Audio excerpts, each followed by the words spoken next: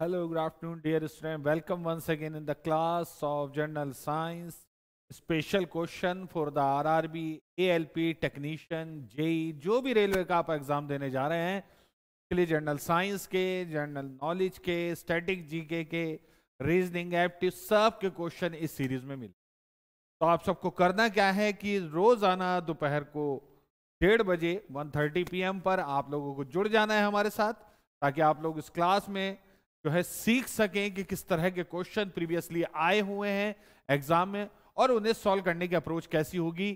With the help of poll आपको पता है कि हम लोग क्या करेंगे कि हम अभी लाइव चैट में पोल एक्टिवेट करते हैं हर क्वेश्चन के बाद ताकि आप लोगों को यह पता रहे कि आ, कितने परसेंट बच्चे जो जितने भी पोल कर रहे हैं उनमें से सही हैं या कितने गलत हैं।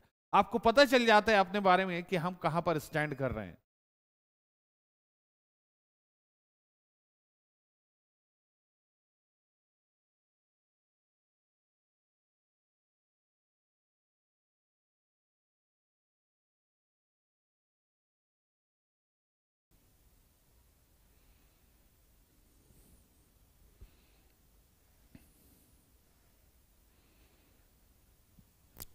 ओके डियर क्या बच्चे मुझे देख पा रहे हैं, सुन पा रहे हैं?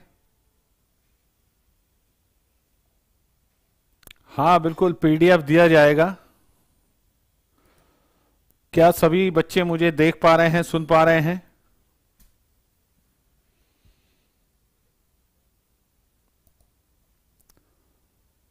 ठीक है, चलिए शुरू करते हैं बच्चों। आई थिंक आपने एक क्वेश्चन का आंसर तो दे ही दिया है। पहला क्वेश्चन ये है हमारा आज का कि which of the following statement is in incorrect about state of matter यानी कि पदार्थ की अवस्थाओं के बारे में इनमें से कौन सा कथन गलत है? पहला क्वेश्चन कह रहा है force of attraction between gas particle is very less बिल्कुल सही बात है।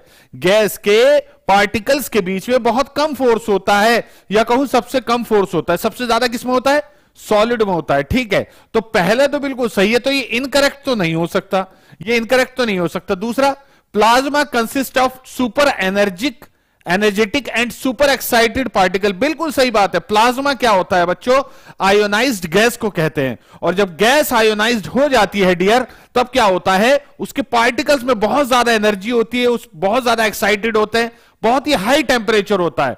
तो ये एक्चुअली कहलाती है बच्चों आयोनाइज्ड गैस आयोनाइज्ड गैस ठीक है? तो ये वाले स्टेटमेंट भी सही है। लेकिन हमें इनकरेक्ट ढूंढना है। The plasma glows with special colour depending on the nature of the gas बिल्कुल सही है। वेल्डिंग में जो चमक आप देखते हैं, वो प्लाज्मा ही तो है डियर तो ये डिपेंड करता है कि कौन गैस की नेचर कैसी है। वो जो कलर दिखने में आ रहा है, वो डिपेंड करेगा किस, कैसी नेचर है। तो ये भी सही है। तीसरा ऑप्शन है, Bose Einstein condensate is found by heating of gas of extremely low density Bose Einstein संघनन जो है, वो बहुत ही कम घनत्व की किसी गैस को गर्म करने पर मिलता है। नहीं, गर्म नहीं बच्चों। तो मेरा सही आंसर डी होगा। याद रखना, बोस आइंस्टीन संघनन जो है, वो बहुत ही कम घनत्व की गैस को बिल्कुल एब्सोल्यूट ज़ीरो परम ताप तक जो होता है ना बच्चों, वहाँ तक ठंडा करने पर बनता है। कहाँ तक बच्चों? ज़ीरो डिग्री कैलविन ये होता है एब्सोल्यूट ज़ीरो टेम्परेचर तो zero degree zero degree Kelvin तक जब हम ठंडा करते हैं किसी बहुत ही कम घनत्व वाली गैस को, तब हमें मिलता है बच्चों बोस आइंस्टीन कंडेंसेट. तो कितने बच्चों ने आंसर दिया इसका सही? 53 परसेंट है। बिल्कुल सही है बच्चों। क्वेश्चन अच्छा था, थोड़ा दिमाग लड़ाना था वेरी गुड एक छोटी सी यहाँ पर आप देख रहे हैं हीटिंग हीटिंग की जगह अगर कूलिंग होता तो मेरा डी आंसर भी करेक्ट स्टेटमेंट होता, लेकिन अभी ये इनकरेक्ट है। चलिए, बहुत बढ़िया बच्चों, बहुत बढ़िया। अब अगले क्वेश्चन की तरफ़ बढ़ते हैं बच्चों, अगले क्वेश्चन की तरफ़, ठीक है? और देखते हैं कि अगला क्वेश्चन हमारा कौन सा है। Which of the following phenomena would increase on rising temperature इनमें से कौन सी घटना तापमान बढ़ाने पर बढ़ेगी? कौन सी घटना? पहली है बच्चों diffusion evaporation compression of gas ठीक है? डिफ्यूजन विसरण इवेपोरेशन वाष्पीकरण कंप्रेशन मतलब संपीडित संपीडीकरण किसका? गैस का। दूसरा है evaporation compression of gas solubility यानी कि क्या वाष्पीकरण या कंप्रेशन या घुलनशीलता बढ़ेगी यह बताना है। तो आपको इन सब में से बताना है। इन सब में से बताना है बच्चों कि कौन सा आपका वो होगा, कौन सा चीज़ बढ़ेगी जब तापमान बढ़ेगा। कौन सा टाइम हाँ बताइए बच्चों, चलिए। आंसर करें बच्चों, सभी आंसर करेंगे। देखिए कौन आंसर करेगा? आंसर करिए बच्चों, आंसर करिए। पोल नहीं आया अभी तक। अरे भाई, पोल पोल कहाँ रह गया? पोल कहाँ रह गया? ठीक है, पोल, चलिए कोई बात नहीं, पोल डालते हैं। अब मुझे डा, चलो ऐसी दे दीजिए आप बच्चों, ऐसी दे दीजिए, बिना पोल के आंसर दे दीजिए बच्चों। डी डी आंसर कह रहे हैं, विशाल डी कह रहे हैं, राज डी कह रहे हैं। अरे ऐसी दे दो आंसर, कोई बात नहीं, पोल भी आ जाएगा। पोल भी आ जाएगा मेरे बच्चों, आप आंसर तो दीजिए, चलिए शाबाश शाबाश, देखते हैं कौन आंसर दे रहा है। कोई बात नहीं, बिना पोल के दे दीजिए इस बार।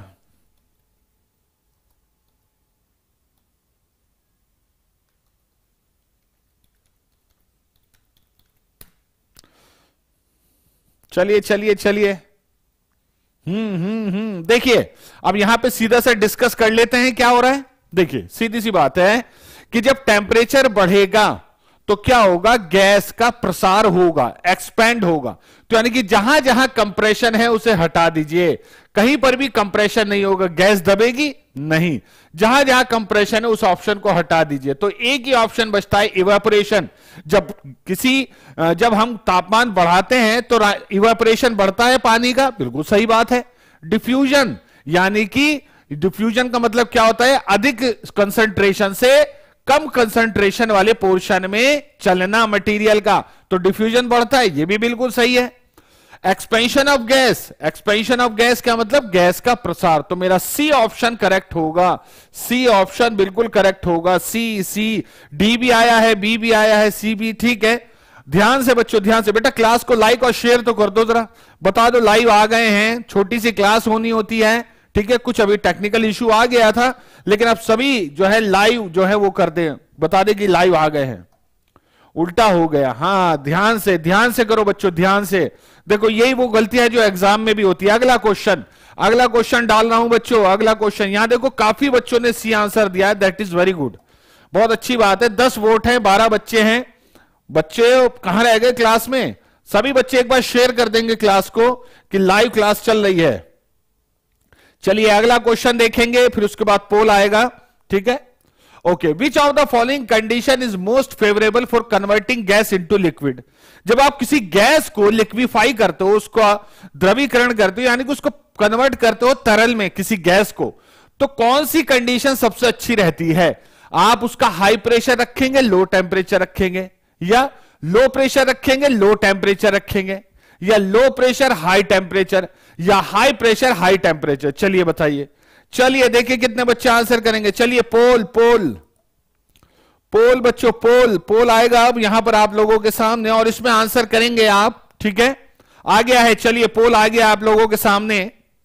शाबाश बच्चों आंसर करो फटाफट। पोल में आंसर करना। पता रहेगा कितने परसेंट बच्चे सही है, कितने गलत है। जब आप किसी गैस को लिक्विड में कन्वर्ट करना चाहते हैं तो इनमें से कौन सी कंडीशन सही रहेगी? चलिए बताइए, जल्दी से। हाँ पोल करिए। हाँ जल्दी से बच्चों, क्लास को शेयर कीजिए लाइक कीजिए, बताइए लाइव आ गए हैं। कुछ टेक्निकल इशू आ गया था, लेकिन इसका यह मतलब नहीं कि क्लास नहीं देनी है। अगर आप लोग पाँच मिनट भी वो वेट नहीं कर सकते क्लास का तो बताइए कैसे चलेगा? ठीक है? पेशेंस चाहिए बहुत ज़्यादा एग्ज़ाम क्वालिफाई करने के लिए। चलिए चलिए, बढ़िया बढ़िया। आंसर करें। हम्म हम्म हम्म। चलिए आंसर आगे मैं बता देता हूँ आपको। हाई प्रेशर गैस को कंप्रेस करते हैं और जब किसी गैस को कंप्रेस करते हैं तो उसका प्रेशर बहुत हाई हो जाता है। प्रेशर उसका काफ़ी बढ़ जाता है। उसके बाद अचानक से उसका टेम्परेचर लो कर दिया जाता है। जैसे ही टेम्परेचर लो करते हैं बच्चों, वो द्रवित होना शुरू हो जाती है गैस तो हम क्या करते हैं बच्चों?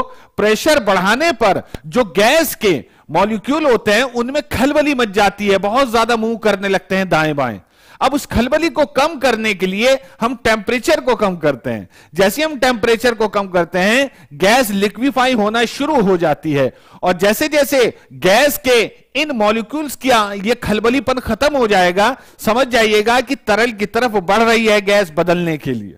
ठीक है? बहुत बेसिक सी चीज़ है। हाँ का 61 परसेंट बच्चों ने सही आंसर दिया है। 18 बच्चों ने वोट किया था सिर्फ़, ठीक है?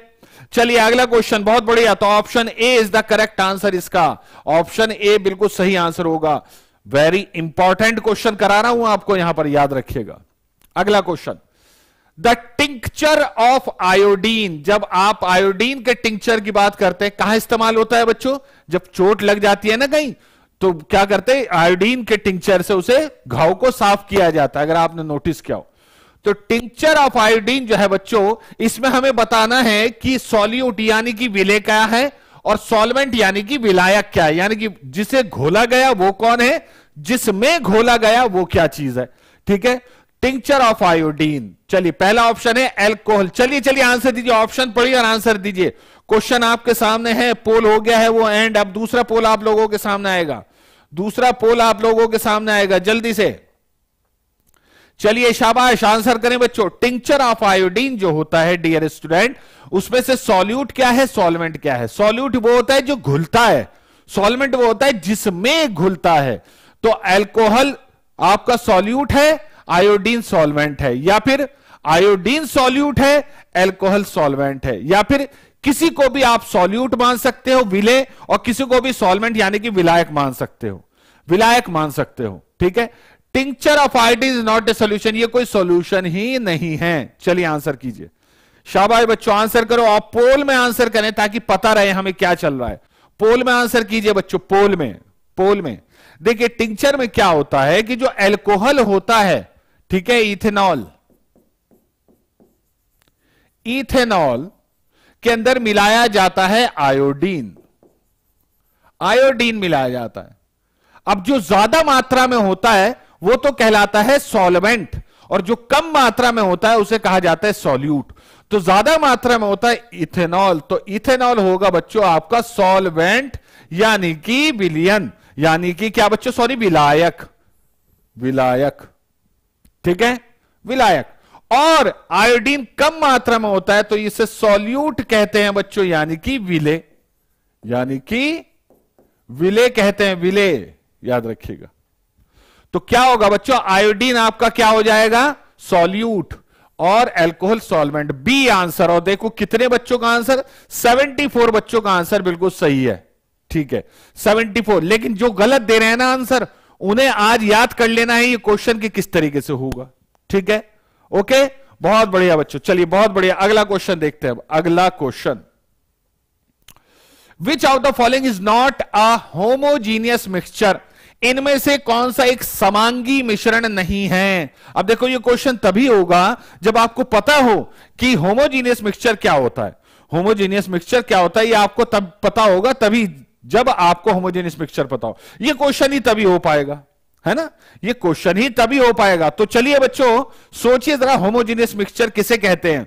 होमोजीनियस मिक्सचर वो होता है जिसका केमिकल कंपोजिशन रासायनिक संरचना का पूरे पूरे उसमें बच्चों, पूरे पदार्थ में, पूरे तत्व में समान रहती है।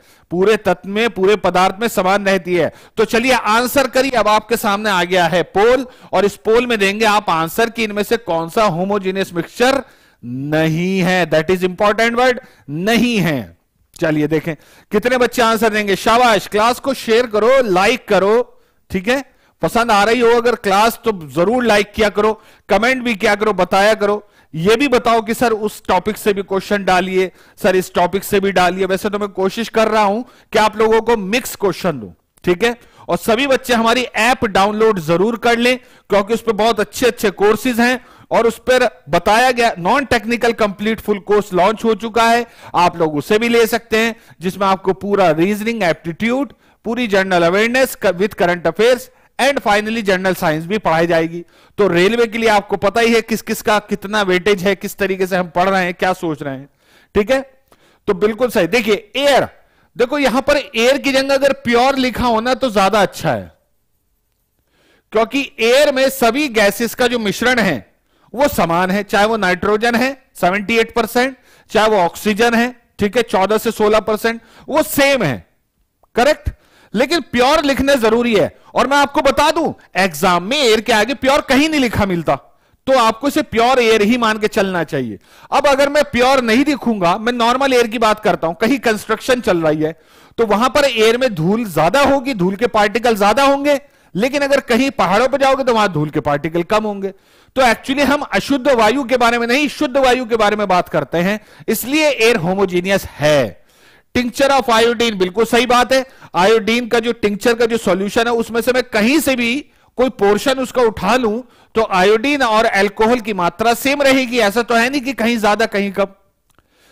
शुगर सॉल्यूशन बिल्कुल सही बात है। अगर पानी में आपने चीनी घोल दी, ऐसा नहीं है कि पानी ऊपर का कम मीठा, नीचे का ज़्यादा मीठा अगर ऐसा हो रहा है तो चीनी सही से घुली नहीं।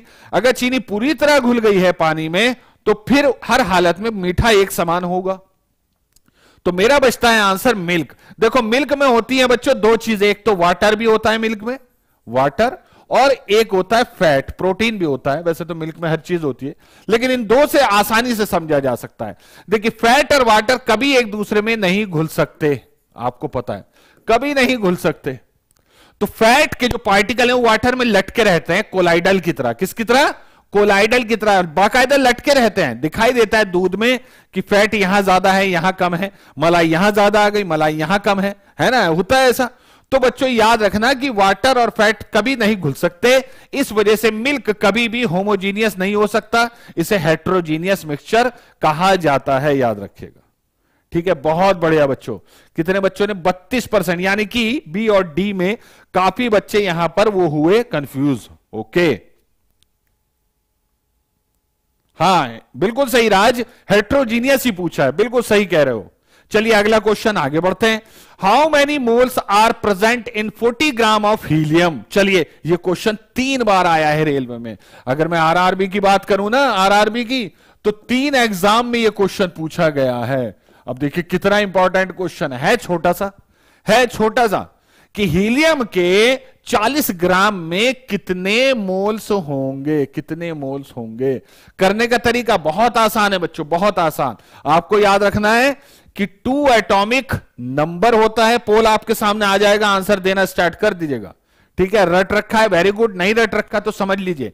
Two is the atomic number of helium and four is the atomic mass अब एटॉमिक मास से इस टोटल मास को करो डिवाइड क्या बच्चों फोर्टी बाई फोर तो कितना हो गया बच्चों टेन तो यानी कि एक मोल में याद रखना याद रखना, अगर मैं आपसे पूछूँ, एक मोल हीलियम में कितने ग्राम हीलियम है? एक मोल हीलियम में कितने ग्राम हीलियम है? तो आपको बताना है, फोर ग्राम हीलियम। ये याद रखना। या कहूँ, फोर ग्राम हीलियम में एक मोल, चालीस ग्राम हीलियम में कितने होंगे? चालीस बटे चार यानी कि टेन मोल्स ऐसे याद रखना। ठीक है, मोल का कंसेप्ट मैं आपको बताऊँगा बहुत जल्दी जीके लर्न पे। और हाँ यार, हमारा जीके लर्न चैनल भी करो सब्सक्राइब क्यों नहीं कर रहे हो आप लोग? वो भी करिए, उसे भी शेयर कीजिए लाइक कीजिए। तो D is the correct answer कितने बच्चों ने आंसर दिया है? अच्छा बी और डी में चल रहा है घमासान, बल्कि बी ज़्यादा दे रहे हैं। बच्चों ने क्या किया एटॉमिक नंबर ले लिया। बच्चों, ये एटॉमिक नंबर है।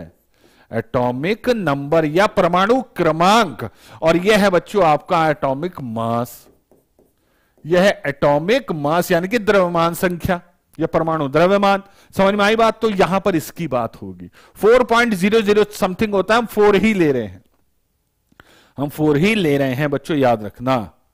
ठीक है? इंपॉर्टेंट क्वेश्चन है। जो क्वेश्चन आपसे नहीं हुआ ना, वो याद रखना, वो आपके लिए इंपॉर्टेंट है। हमेशा याद रखना। अगर ज़्यादा बच्चों ने आंसर गलत दिया है तो इंपॉर्टेंट क्वेश्चन ये ठीक है? हाँ very good afternoon very good afternoon अगला क्वेश्चन पढ़ेंगे बच्चों, अगला question. 7N15 and 8O16 are pair of. 7N15 8O16 क्या होता है? क्या होता है बच्चों? हाँ बिल्कुल बिल्कुल thank you thank you rouse be fast चलिए चलिए.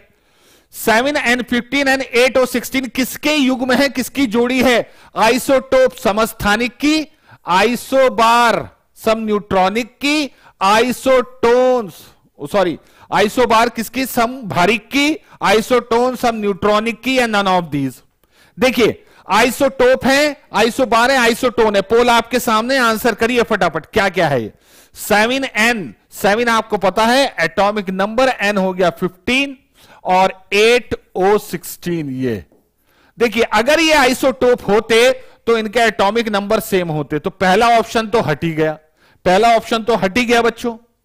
आइसोबार की बात करें, ठीक है? आइसोबार का मतलब क्या होता है? ये चीज़ इक्वल है या नहीं? प्रोटॉन प्लस न्यूट्रॉन का जो मान है, वो बराबर है या नहीं? नहीं है। तो आइसोबार यानी कि संभारिक भी नहीं है अब क्या है बच्चों? आइसोटोन इसे कहते हैं सम न्यूट्रॉनिक सम न्यूट्रॉनिक वैसे याद रखना एग्ज़ाम में सम न्यूट्रॉनिक लिखा नहीं आएगा, ऐसे लिखा आएगा, ऐसे। ठीक है सम न्यूट्रॉनिक तो इसमें कितने हैं न्यूट्रॉन पंद्रह में से सात घटाइए फिफ्टीन माइनस सेवन तो ये बचे आठ। सोलह में से आठ घटाइए सिक्सटीन माइनस एट तो ये बचे आठ। तो न्यूट्रॉनों की संख्या इन दोनों तत्व सेम है, इसलिए इन्हें आइसोटोन्स कहा जाएगा। क्या कहा जाएगा बच्चों? आइसोटोन्स कहा जाएगा। ये देखिए, सिर्फ़ तेईस बच्चों ने वोट किया है। सी आंसर सबसे ज़्यादा है वेरी गुड ए और बी में भी कंफ्यूजन था, लेकिन अब मैंने आपको बता दिया आई होप आई होप मैंने आपको सारी चीज़ समझा दिया बच्चों यहाँ पर।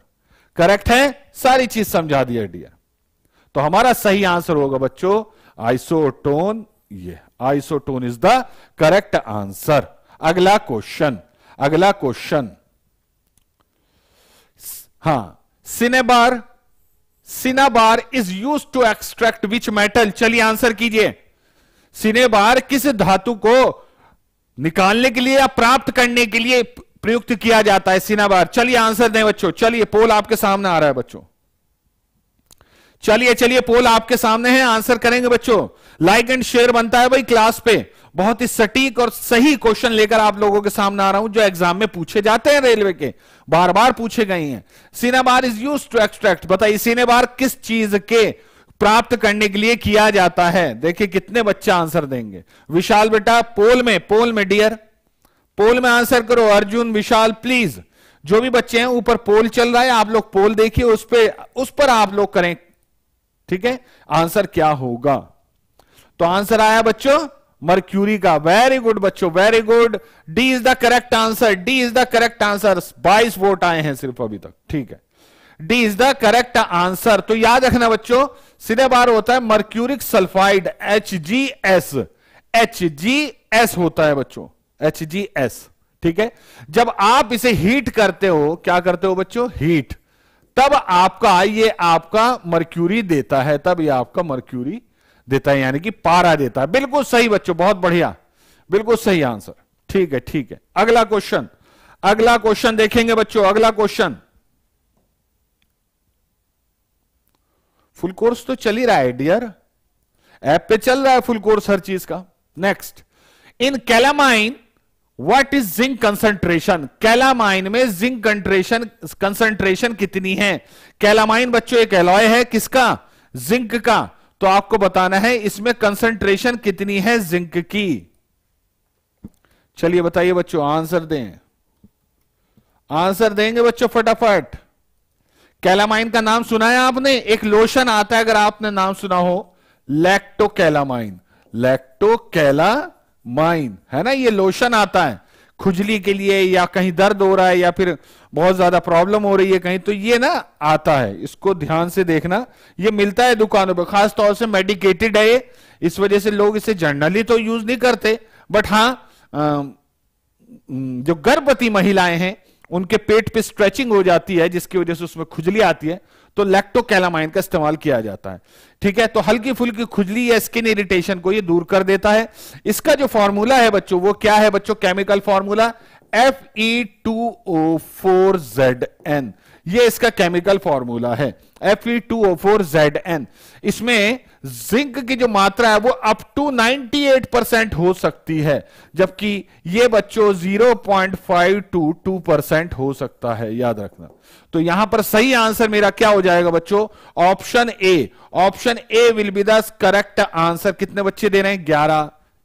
सी आंसर दे रहे हैं। सी सी सी आंसर दे रहे हैं बच्चों। बच्चों याद रखना 98 परसेंट तक इसमें अरे 98 परसेंट तक इसमें जिंक हो सकता है। 98 परसेंट तक। आ, ये सारे सही हैं। ये सारे सही हैं। लेकिन समस्या यह है कि इनमें से दे कौन सा? इतना भी हो सकता है इतना भी इतना भी। मैक्सिमम आपको बताना कितना हो सकता है? 98 परसेंट के आसपास हो सकता है। ठीक है?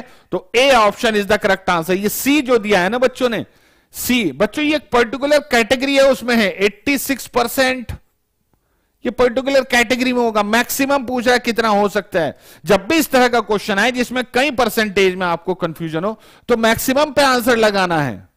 इससे ज़्यादा नहीं हो सकता। 98 परसेंट तक हो सकता है जिंक इसमें। और फेरिक ऑक्साइड आपका 0.5 टू 0.2 परसेंट तक हो सकता है। इससे ज़्यादा भी कम भी हो सकता है।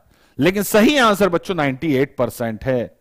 ये देखो कितने बच्चों का आंसर है? ए, यानी कि 19 परसेंट बच्चों का आंसर सही है। देखो इंपॉर्टेंट लगा लीजिए कंफ्यूजन काफ़ी है इसमें।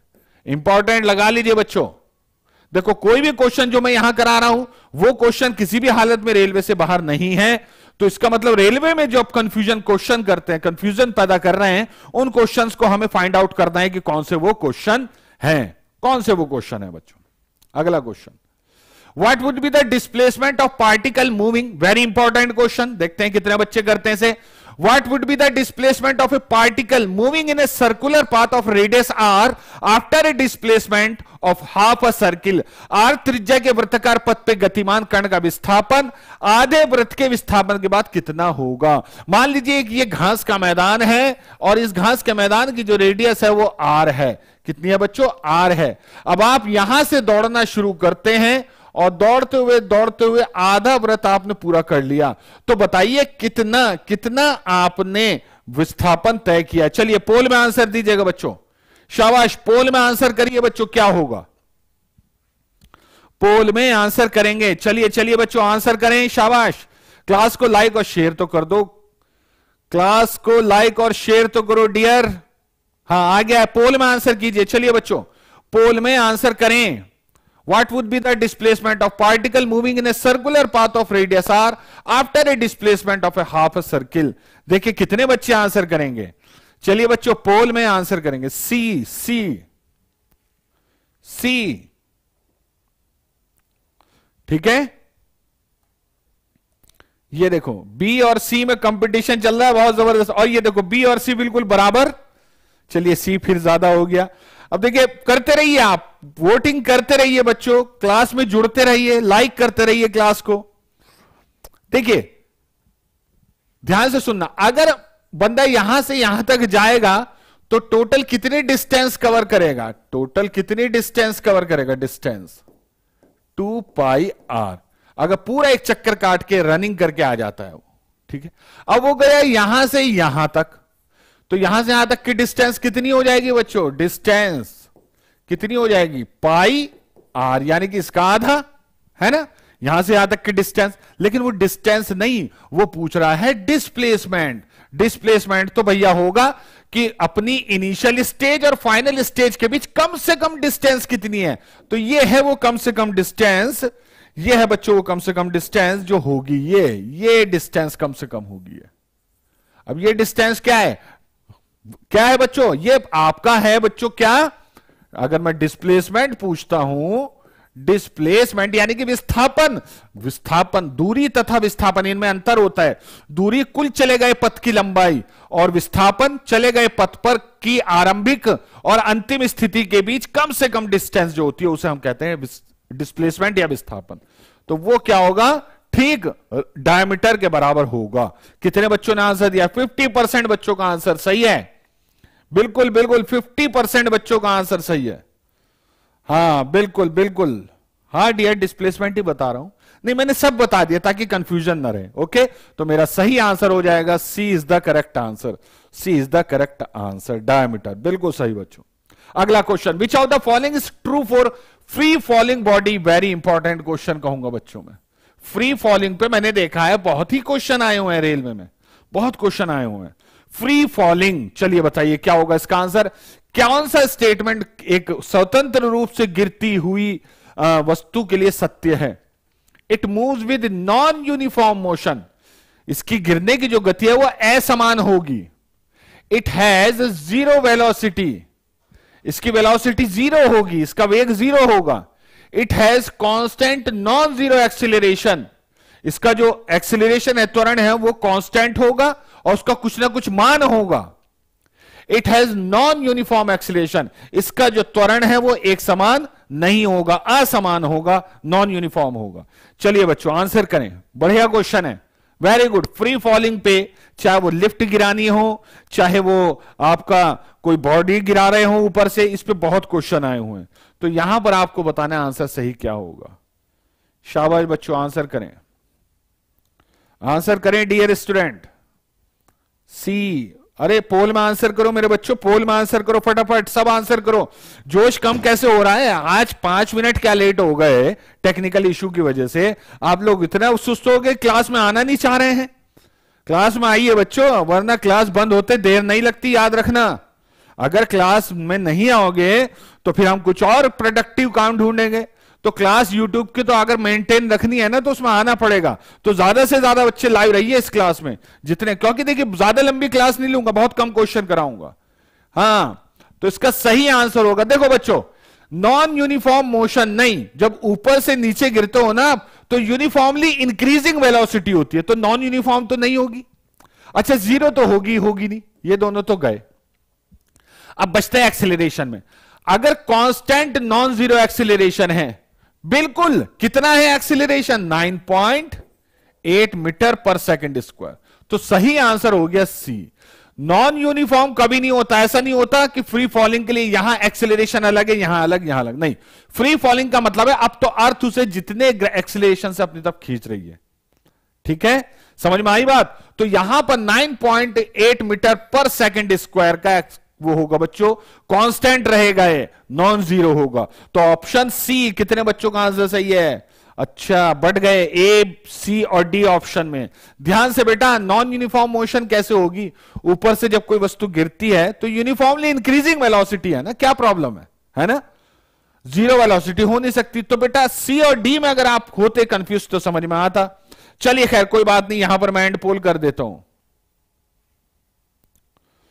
ठीक है ठीक है, प्रवीण, बिल्कुल और अच्छे मुश्किल क्वेश्चन लाऊँगा। बिल्कुल बेटा next question the mass of the body is doubled and velocity becomes half किसी चीज़ का मास अगर आधा कर दिया जाए और वेलोस सॉरी मास डबल कर दिया जाए और वेलोसिटी आधी कर दिया जाए बॉडी की तो बताइए लीनियर मोमेंटम पर क्या फ़र्क पड़ेगा? लीनियर मोमेंटम पर क्या फ़र्क पड़ेगा? चलिए चलिए बच्चों, देखिए, पहले अगर मास m था तो बाद में कर दिया 2m पहले अगर वेलोसिटी v थी तो बाद में कर दी v बाई टू तो लीनियर मोमेंटम पर क्या फ़र्क पड़ेगा, वो ये कह रहा है। ठीक है? तो अब आपको पता है linear momentum p equals to mass into velocity द्रव्यमान गुणा वेग होता है लीनियर मोमेंटम तो अगर मैं निकाल लू P1 वन अपॉन पी तो P1 कितना हो जाएगा? M into M into V ये P1 की कंडीशन है तो m इंटू वी और P2 क्या हो जाएगा? Two M into V by two two से टू कट जाएगा। एम से एम वी से वी तो ये आ जाएगा वन तो P one upon P two two one ये तभी मुमकिन है जब पी वन और पी टू बराबर हो। तो कितने बच्चे सही आंसर दे रहे हैं? ये देखो बी और सी में फ़र्क पड़ रहा है। बी और सी में, अरे बाप रे, यहाँ पर मेरा आंसर तो बी आया है। और लगभग लगभग 50 परसेंट बच्चों का आंसर भी आया लेकिन सी वालों से भी कहूँगा कि प्लीज़ ध्यान रखना कि लीनियर मोमेंटम का जो फॉर्मूला होता है मेरे बच्चों, वो मास इंटू वेलोसिटी होता है। मास इंटू वेलोसिटी होता है। सेम रहेगा। बिल्कुल सही बच्चों। बिल्कुल बिल्कुल। कोई बात नहीं राज, कोई बात नहीं। कोई बात नहीं बेटा, होता है ऐसा, लेकिन एग्ज़ाम में मत ऐसा करना। ठीक है? अगला क्वेश्चन एक goalkeeper in a football game pulls his hand backward after holding the ball shot at the goal किसी मैसी ने गोल की तरफ़ मारी लात किक मारी बॉल पर तो गोल कीपर ने उसे पकड़ के थोड़े हाथ अपने पीछे ले गया। इस तरीके से, इस तरीके से पीछे ले गया। This enables the goal keeper to इसकी वजह, ये गोलकीपर क्यों कर रहा है ऐसा? या कोई भी क्रिकेटर जब बॉल कैच करता है तो थोड़ा हाथ पीछे ले जाता है, इस तरीके से। ये ऐसे लेके जाता है। क्या रीजन होता है, क्या होता है, वो यही यहाँ पर पूछ रहा है। चलिए पोल आपके सामने आ गया है और आंसर कीजिए। Increase the rate of change of momentum वो ठीक है, जो आपका संवेग परिवर्तन है, उसको इंक्रीज करता है। संवेग परिवर्तन की दर को इंक्रीज करेगा। या decrease the rate of change of momentum संवेग परिवर्तन की दर को, बेटा मोमेंटम को संवेग कहते हैं। हिंदी में वो नहीं आ पाया, मैं यहाँ लिख देता हूँ। संवेग ओके डिक्रीज करेगा इसके रेट को, या increase the force exerted by the ball on the hand ठीक है? या फिर exert larger force on the ball देखिए, बहुत ज़बरदस्त क्वेश्चन है। इसमें होने वाला है कंफ्यूजन इसमें होने वाला है कंफ्यूजन चलिए चलिए आंसर कीजिए बच्चों। हाँ हाँ बी अरे बाप रे, तेरह वोट आए हैं अभी तक। और करो और करो बच्चों आंसर करो। शाबाश आंसर करते रहो क्लास को लाइक और शेयर करते रहो डियर और आंसर करते रहो. मोमेंट ऑफ़ इनर्शिया बेटा क्या पूछ रहे हो, राज? क्या पूछ रहे हो बच्चों? ठीक है, ध्यान से, अब ध्यान से देखना बच्चों, इसका सही आंसर बी होगा। हाँ ज़्यादातर बच्चों का आंसर बिल्कुल सही है। बिल्कुल सही। देखो बच्चों, जो फोर्स बराबर होता है, वो होता है मास इंटू एक्सिलेशन द्रव्यमान गुणा त्वरण। त्वरण होता है वेग परिवर्तन की दर, यानी कि rate of change of velocity तो फाइनल वेलोसिटी कितनी है? V initial velocity u divided by t, इसको हम कहते हैं एक्सिलेशन मास के अंदर मल्टीप्लाई कर दीजिए, क्या आ जाएगा? Mass into final velocity minus mass into initial velocity divided by T अब मास इंटू वेलोसिटी होता है मोमेंटम तो यह है फाइनल मोमेंटम यह है इनिशियल मोमेंटम दोनों को माइनस कर रहे हैं तो इसका मतलब हम निकालना है चेंज हम निकालना है चेंज और टी से डिवाइड कर रहे हैं टी इज़ द टाइम तो हो जाएगा rate of change of linear momentum तो जब हम टी जब हम बॉल को पीछे ले जाता है गोलकीपर तो एक्चुअली वो टाइम बढ़ा देता है. और जैसे ही टाइम बढ़ेगा, जैसे ही टाइम बढ़ेगा फोर्स जो है वो घटेगा। क्यों घटा फोर्स क्योंकि जैसे ही टी बढ़ेगा, ये जो है rate of change of linear momentum घट जाएगा। तो सही आंसर होगा बच्चों decrease the rate of change of momentum बहुत बढ़िया भाई, बहुत बढ़िया। अगला क्वेश्चन अगला question which of the following factor does the acceleration due to gravity on earth depends upon कौन से कौन से ऐसे फैक्टर हैं जिनके ऊपर अर्थ का जो एक्सिलेशन है ग्रेविटी की वजह से वो डिपेंड करता है। ठीक है? पृथ्वी पर गुरुत्वाकर्षण के कारण त्वरण निम्नलिखित में से किस पर निर्भर करता है? चलिए आंसर दीजिए। आपके सामने पोल आ जाएगा, जल्दी आंसर करेंगे बच्चों। चलिए, शाबाश। शाबाश। आंसर पोल में ही करिए। देखिए, आपको पता चलना चाहिए कि 32 तैतीस बच्चे जो देख रहे हैं, इनमें से इनमें से, ज़्यादातर में से किसका सही है आंसर शाबाश आंसर करें बच्चों। किस चीज़ पे डिपेंड करता है? मास ऑफ़ बॉडी पे मास ऑफ़ अर्थ पे वॉल्यूम ऑफ़ बॉडी पे shape and size of body पे। बहुत आसान क्वेश्चन है और मुझे लग भी रहा है आपका आंसर देखकर। ठीक है, याद रखना बच्चों acceleration due to gravity small G equals to होता है universal gravitational constant G into mass of earth upon upon radius of earth square ये फॉर्मूला याद रखना बच्चों, ये फॉर्मूला जिससे पता चलता है कि जी मास ऑफ़ अर्थ पे डिपेंड करता है रेडियस ऑफ़ अर्थ पे डिपेंड करता है। रेडियस ऑफ़ अर्थ पे डिपेंड करता है। तो मास ऑफ़ बॉडी बॉडी के मास पर, यानी कि जब कोई बॉडी किसी अर्थ की, जब बॉडी अर्थ की तरफ़ जाएगी तो उस पर भी ग्रेविटी एक्सिलेशन लगेगा, गुरुत्वीय त्वरण लगेगा। तो क्या यह त्वरण जो लग रहा है, उस बॉडी के मास पे डिपेंड कर रहा है? नहीं। ये सिर्फ़ और सिर्फ़ अर्थ के मास पे डिपेंड करता है। B is the correct answer B शाबाश बच्चों, बिल्कुल सही। बी बिल्कुल सही आंसर है। अरे बाप रे ए क्यों दे रहे हो बेटा? नहीं नहीं ए नहीं होगा मेरे बच्चों। ए नहीं होगा। प्लीज़ समझिए इस बात को। ए नहीं होगा। ठीक है? ओके मैंने फॉर्मूला भी बता, ये फॉर्मूला याद रखना। ये बहुत काम आता है फॉर्मूला। याद रखिएगा। नेक्स्ट मैक्सिकन वेव देखा है आपने स्टेडियम में? स्टेडियम में क्या होता है कि लोग ऐसे ऊपर उठते रहते हैं बैठे बैठे है ना? तो इसे कहते हैं मैक्सिकन वेव जब खासतौर से फुटबॉल, वुटबॉल के मैच में आपने देखा होगा। तो मैक्सिकन वेव जो होता है, प्यारे बच्चों मैक्सिकन वेव वो एक लहर है, एक तरंग है। तो वो कौन सी तरंग होती है? Longitudinal wave transverse wave, electromagnetic या नन ऑफ़ द ऑप्शन चलिए, आपके सामने पोल आ जाएगा आंसर करिए बच्चों। पोल आ गया आपके सामने। आंसर करें बच्चों। चलिए, शाबाश। जो स्टेडियम में देखा है ना कि लोग बैठे बैठे ऐसे उठ के हाथ करते हैं, है ना? तो एक तरंग चलती है पूरे स्टेडियम में। इस तरीके से एक तरंग चलती है पूरे स्टेडियम में। तो वो कौन सी तरंग होती है? लॉन्गिट्यूडनल ट्रांसवर्स इलेक्ट्रोमैग्नेटिक या इनमें से कोई नहीं। हाँ ऑप्शन में आंसर देंगे बच्चों। सभी बच्चे ऑप्शन में आंसर दे। पोल जो चल रहा है लाइव चैट में, उसमें आंसर करेंगे बच्चों आप। लाइव चैट में जो पोल चल रहा है, उसमें आंसर करें। ए बी सी डी शाबाश शाबाश बच्चों। आंसर करें। ये देखिए ए ऑप्शन लॉन्गिट्यूडनल पे सबसे ज़्यादा बच्चे जा रहे हैं। ठीक है? ओके बीस वोट आ गए अरे, और करो, बाकी क्या कर रहे हो? बाकी क्या रहे हो? आप भी लोग भी वोट करो। हिमांशु बेटा पोल में करो डियर सत्येंद्र पोल में करो मेरे बच्चे। फिफ्टी परसेंट ए कह रहे हैं। फोर्टी वन पर, फोर्टी थ्री। अच्छा आप देखिए देखिए, ये थोड़ा सा बैलेंस होता हुआ, बैलेंस होता हुआ, बैलेंस होता हुआ। देखिए बच्चों लॉन्गिट्यूडनल वेव ये देखिए बच्चों, ध्यान से देखना, ये है आपकी ट्रांसवर्स वेव और ये है आपकी लॉन्गिट्यूडनल वेव तो लॉन्गिट्यूडनल देखिए, दोनों में वेव आगे बढ़ रही है, लेकिन जो पार्टिकल है, वो सिर्फ़ लॉन्गिट्यूडनल वेव में आगे जाता है। अब जो स्टेडियम में आदमी बैठा है, अगर मैं उसे पार्टिकल मान लू, क्या वो तरंग के साथ साथ आगे बढ़ता है? नहीं ना। तो सही आंसर होगा बच्चों ट्रांसवर्स वेव सही आंसर क्या होगा बच्चों?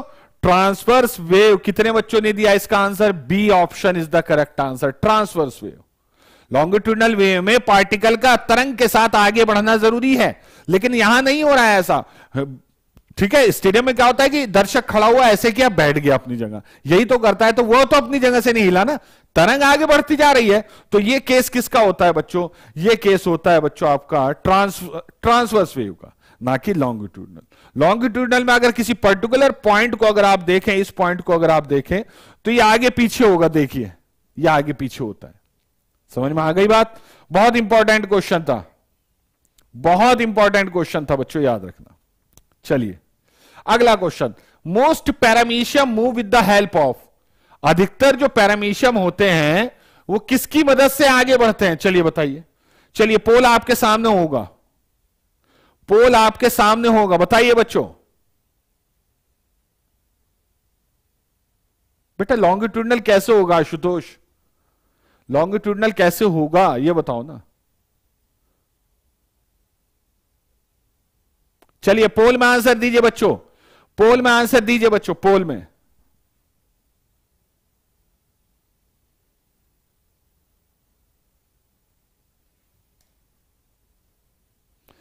चलिए शाबाश, आंसर करें बच्चों।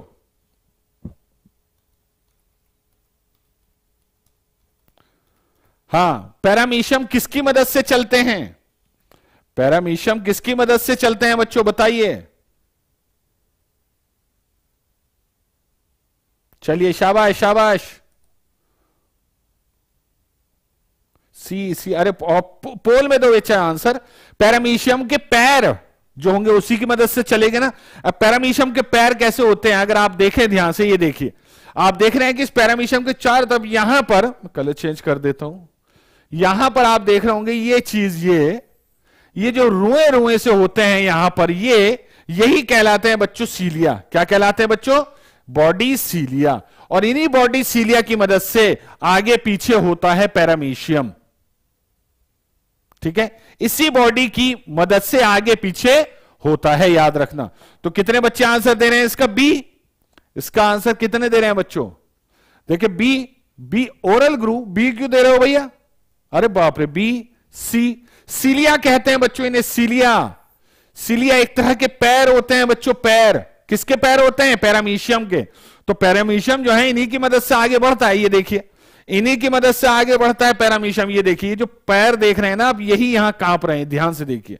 आई होप आपको दिख रहा होगा क्लियरली ठीक है? तो पैरामीशियम जिनसे चलता है, उन्हें हम क्या कहते हैं बच्चों? सिलिया। क्या कहते हैं बच्चों? Body cilia. एक ओरल सिलिया होते हैं जो खाने को अंदर ले जाने के काम में आते हैं। खाने को अंदर ले जाने के काम में आते हैं। दो तरह के सिलिया होते हैं बस यहाँ पर। बस आपको ये याद रखना है। ठीक है? हाँ। चप्पल के आकार का होता है। बिल्कुल सही बच्चों, चप्पल के आकार का होता है। चलिए, अगला क्वेश्चन देखते हैं। अब अगला क्वेश्चन देखते हैं बच्चों। Dash is then is an example of ओवोविया हाँ ओवोवी विपेरस चलिए बताइए इसका आंसर क्या होगा? ओवोवी विपेरस जो जानवर होते हैं, उनमें से इसका एग्ज़ाम्पल कौन है? उसका एग्ज़ाम्पल कौन सा है? देखो, एक तो होता है वीवी पोरस ठीक है? एक तो होता है बच्चों वीवी पेरस ठीक है? वीवी पेरस होता है एक तो। एक होता है ओवीवी पेरस ओवीवी पेरस ठीक है? ओवीवी पैरस और एक होता है बच्चों ओवोवी हाँ ओवोवी विपेरस ध्यान से इनके नाम ना बहुत कंफ्यूज करते हैं। आपको अच्छे से याद करने वीवी पेरस ओ वीवी पेरस एक होता है ओवो वीवी पेरस इसको याद रखना वी ओ ओवो वीवी पेरस तो हर एक में है लगभग। अब इन इनमें फ़र्क क्या है किस तरीके से ये होता है? चलिए पोल में आंसर दीजिए। वैसे तो मैं आपको बता रहा हूँ ध्यान से वीवी पेरस वे बच, वो होते हैं बच्चों जो बच्चों को जन्म देते हैं जिनके बच्चे डायरेक्ट होते हैं जैसे स्तनपाई होते हैं ना। बच्चे डायरेक्ट होते हैं। हम हैं कुत्ता है बिल्ली है वेल है ये सब मैमल्स हैं स्तनपाई बच्चों को सीधा जन्म देते हैं। हाँ ओवीवी पेरस कैसे होते हैं बच्चों? ये वो जीव होते हैं जो कि अंडे देते हैं, अंडे। और ये अंडे इनके शरीर में से निकल जाते हैं और ये कहीं पर सेफ़ रहते हैं, फिर इसमें से बच्चे बाहर निकलते हैं, जैसे मुर्गी। मुर्गी क्या करती है? अंडा देती है बच्चों, फिर उसको सेती है। कई दिन तक लेदा हैचिंग करती है, उसमें से फिर जो है बच्चे बाहर निकलते हैं और आपका वो होता है। तो अंडे देने वाले जो होते हैं, लेकिन अपने शरीर के बाहर ही वो बच्चा देंगे। अंडे तो देगा, लेकिन शरीर के बाहर बच्चे देगा। अब सवाल उठता है, ओवोवी ये जो ओवोवी पेरस होते हैं, ये कौन से होते हैं? याद रखना बच्चों, ये वो होते हैं जो अंडे अपने शरीर के अंदर ही देते हैं। अंडे अपने, अंडे देते हैं, वो शरीर के अंदर ही रहते हैं। अब शरीर के अंदर ही बच्चा जन्म लेगा, अंडा फूटकर, ठीक है? तो अंडे शरीर में ही। शरीर के अंदर ही। शरीर के अंदर ही होता है बच्चों, याद रखना। तो क्या बच्चों, क्या बच्चा, ये वाइपर, क्रो, सीगल, हॉक। तो याद रखना बच्चों, इसका एग्ज़ाम्पल तो आपको बहुत सारे पता है, इसके भी बहुत सारे पता होंगे। बत्तख हो गया, मुर्गी हो गई। इसका एग्ज़ाम्पल दो ही मेन है। पहला है बच्चों स्नेक सांप। सारे सांप नहीं, कुछ सांप। स्नेक जैसे कि वाइपर। जैसे कि वाइपर। दूसरा, शार्क। शार्क भी होती है बच्चों, शार्क। शार्क भी पेट के अंदर ही अंडे देती है। अंडे फूटते हैं बच्चों। अंडे फूटते हैं और अंडे फूटने के बाद शार्क के बच्चे पेट में ही रहते हैं, माँ के। और वो इतने खतरनाक होते हैं बच्चों कि शार्क के, मान लीजिए, पाँच बच्चे हुए, छह बच्चे, उनमें से कोई एक दो ही बाहर आते हैं, क्योंकि वो छोटे बच्चे अपने भाई या बहन को खा लेते हैं पेट के अंदर ही पेट भरने के लिए। वो इतने खतरनाक होते हैं। ठीक है? चलिए बच्चों, आगे बढ़ते हैं अब। तो यहाँ पर मेरा सही आंसर क्या हो जाएगा? वाइपर, यानी कि नाग। ठीक है? ठीक है बच्चों? कोई क्वेश्चन छूटा तो नहीं? अच्छा ये छूट गया एक क्वेश्चन चलिए लास्ट क्वेश्चन देखते हैं। Which are the following animal process a vascular system कौन सा ऐसा जानवर है जिसमें उत्सर्जन, वो सॉरी संवहनी तंत्र होता है? यानी कि धमनियाँ होती हैं, खून का इधर से उधर जाना होता है। खून का इधर से उधर जाना होता है। ऐसा कौन सा जीव है? चलिए आंसर है। हाँ सोलह। हाँ बेटा, वो मैंने कर दिया कर दिया, राज। ठीक है? बहुत अच्छा क्वेश्चन है वेरी इंपॉर्टेंट वेरी इंपॉर्टेंट मुझे भी लग गया था कोई क्वेश्चन छूटा है। चलिए, आंसर दीजिए। पोल आपके सामने है, बच्चों। फिर से सुनिए, वो कौन से जानवर है जिसमें संवहनी तंत्र होता है? धम, धमनियाँ होती हैं ब्लड को लाना, ले जाना, ये सब चीज़ें होती हैं। ठीक है? चलिए, बताइए बच्चों। तारा मछली हाइड्रा जेलीफिश या चारो? या चारो। ठीक है? याद रखना हाइड्रा जो है बच्चों हाइड्रा जो है सॉरी स्टारफिश जो है बच्चों स्टारफिश हाइड्रा जेलीफिश ये तीनों समुद्र के जीव हैं। तो इनमें पाया जाना वाला वास्कुलर सिस्टम क्या होता है बच्चों? समुद्री होता है वाटर वास्कुलर सिस्टम अब सवाल है, क्या इन तीनों में पाया जाता है, या किसी में नहीं पाया जाता, या सब में, किसी एक में पाया जाता है? चलिए आंसर दीजिए। देखिए, कौन देगा इसका आंसर? सत्रह ही वोट आए, क्या हुआ ये? कुछ गड़बड़ हुई? नहीं अच्छा भी चल रहा है। डी डी आंसर आ रहा है? नहीं, अब ध्यान से सुनना। स्टार फ़िश सिर्फ़ स्टार फ़िश में होता है बच्चों। वस्कुलर सिस्टम जो है, सिर्फ़ स्टार फ़िश में होता है। यानी कि जैसे हमारे अंदर वस्कुलर सिस्टम ऐसे स्टार फ़िश में होता है। हाइड्रा और जेली फ़िश में डिफ्यूजन प्रोसेस होता है, एक विसरण।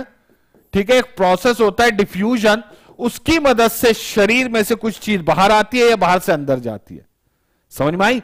जेलीफिश और हाइड्रा में वास्कुलर सिस्टम नहीं होता। नहीं होता है नहीं होता। बस ये याद रखिएगा बच्चों। एक्नोडर्मेटा फाइलम में आता है। कौन सा संघ है बच्चों? एक्नोडर्मेटा ये भी बड़ा पूछा जाता है। एक्नो डरमेटा वो पूछेगा स्टारफिश का फाइलम यानी कि संघ कौन सा है? तो आपको बताना होगा बच्चों, क्या? एक्नोडर्मेटा स्टारफिश बहुत इंपॉर्टेंट है। इनका कौन सा संघ है, ये आप लोग पता करेंगे। इतना ऑप्शन दे दू, एक छोटा सा सी आई से स्टार्ट है, बस ये याद रखना। ठीक है? इंपॉर्टेंट है, कई बार पूछा गया है। चलिए बच्चों, बहुत बढ़िया बच्चों। पीडीएफ कहाँ मिलेगा बेटा, पीडीएफ के लिए ऐप पर मैं जल्दी आप लोगों की जितनी क्लासेस हुई हैं अब तक, चाहे वो आपकी कोई किसी भी टॉपिक पर हुई हैं, उन सारी क्लासेस की पीडीएफ एक जगह ऐप पर डाउनलोड कर देंगे। हमारी ऐप है बच्चों make it easy live classes उसे डाउनलोड कीजिए। हमारे चैनल को ज़रूर सब्सक्राइब कीजिए, जितने बच्चे नए हैं। हमारा एक और चैनल है जीके लर्न उसको भी सब्सक्राइब कीजिए। मिलते रहेंगे आप लोगों के साथ इसी तरह के क्वेश्चंस के साथ, ताकि आप लोगों को पूरी नॉलेज हो जाए। रेलवे के नोटिफिकेशन आने तक आप लोगों की तैयारी लगभग पूरी हो जाए। चलिए मिलेंगे नेक्स्ट सेशन में, तब तक के लिए thank you very much and all the best